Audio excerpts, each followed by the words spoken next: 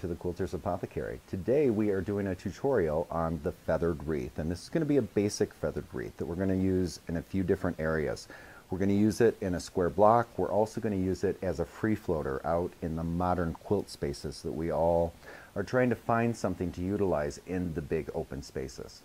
The one thing I want to remind everybody is unless you are using a sit-down machine, uh, when you use a stand-up machine like we are today, you want to make sure to utilize an extended base for your brand of machine. The other thing, since we are using rulers, is you'll want to make sure to check and make sure that the foot on your machine is a ruler foot because a lot of the brands of machines will have different feet based on whether or not you're going to be utilizing rulers or not. Today we are working with the wonderful Innova machine. This is a 22 inch. It has the lightning stitch and we have our base in place. And now we're going to head over to the quilt and we're going to start talking about how we would plan a wreath. The first wreath we're going to do is just going to be a basic drop-in wreath. And to do that, we're actually going to utilize a marking tool, which is the blue Marks be Gone, because I'm doing it on blue, because later on I'm going to ink this. The other thing that I'm going to utilize is three circles. And here we have the Quilter's Apothecary circles. And we have small, medium, and large.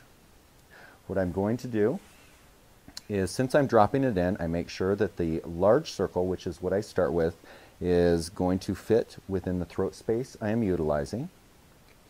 And I approximate the space where I'm going to drop it in. I'm going to make just a light registration line or mark right there. I'm going to drop the round ruler and center the center of that right on there. And very simply, I'm just going to mark this. Now remember, this is going to come away with the sew clean. So the blue mark will not be there permanently. The outside mark, because that is the large one we're using, is just going to be a registration point so that when I feather, I know where to feather to. The next one I'm going to drop in would be the small. And so I'm going to center the small circle right on that center registration line, so it's going to be dead center in the wreath, which would make a traditional feathered wreath. The next circle I'm going to utilize is going to be a medium circle. And again, when I get ready to use that, I'm going to center that with the crosshairs right in the center of that wreath. And this is actually the ruler that we're going to use to do the um, spine or the center of the feathered wreath. So now we have that in place. Let's bring the machine over. Here we have the medium Quilter's Apothecary circle. I'm going to come up, line up my stitches, making sure that the crosshairs are right in the center of that particular circle that we marked earlier. I'm going to lock my stitches.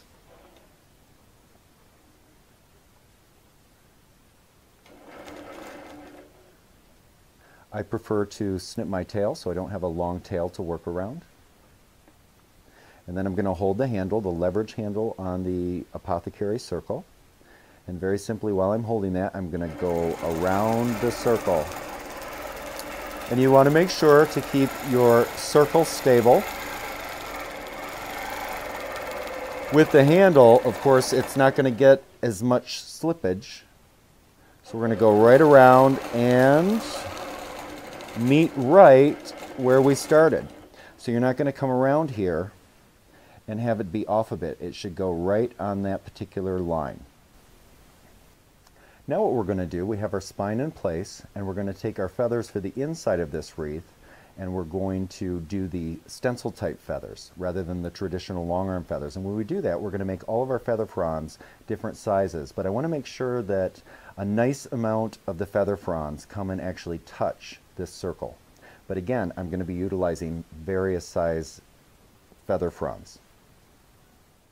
So I'm going to begin with my feather fronds. And again, I'm not going to have them all touching that center circle. Come around. On occasion, I'm, I'm going to swing in there.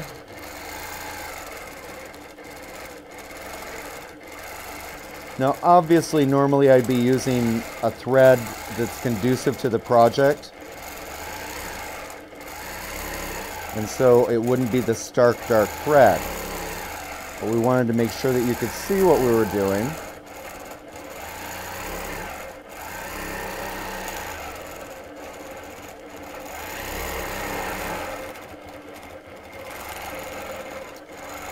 Now the one thing to remember, because I'm doing different size feather fronds, is that you can utilize any type of feather fronds for the inside of this wreath that you want.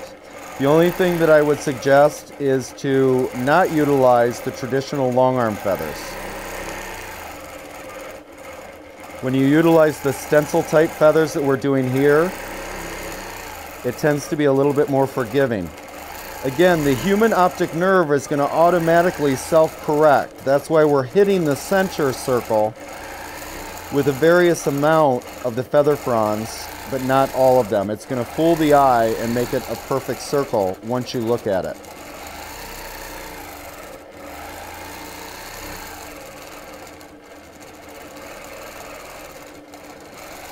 Now we're going to sneak up here. We're going to connect at the end. And then we're going to start on the outside.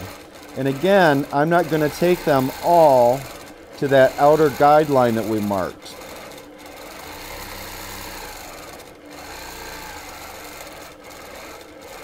I like this particular method, especially if I'm working in modern quilts. It's because it's a little bit more free flowing and it also is definitely a lot more forgiving.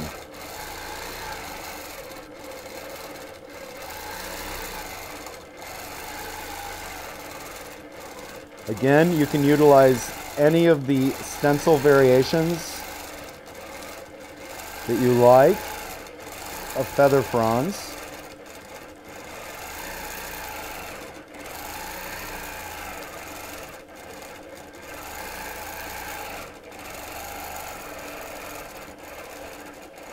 And you're going to work your way all the way around the outside of the wreath.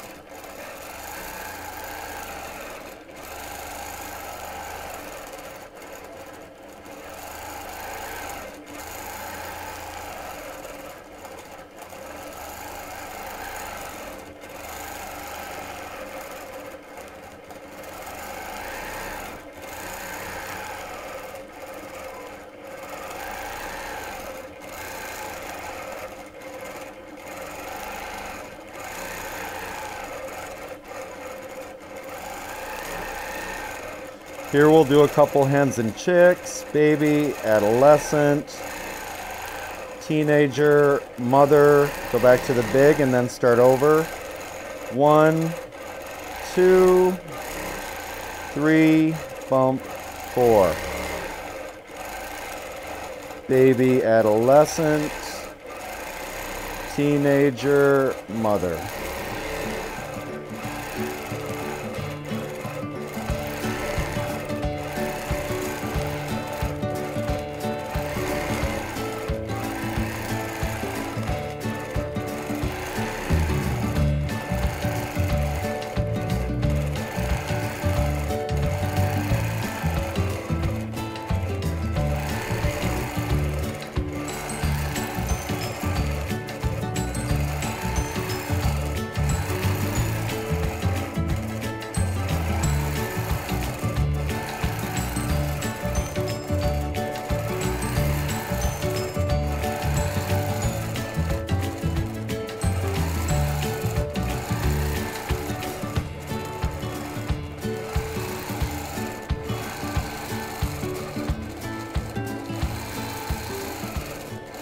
Come around. I'm going to connect right there, lock my stitches, pull away, and then I'm going to get rid of the blue mark with the Silk Clean.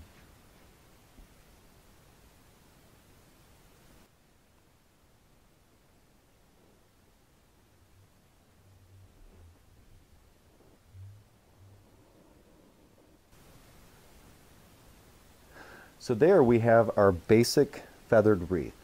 And now we're going to move into some other type wreaths in our next tutorials.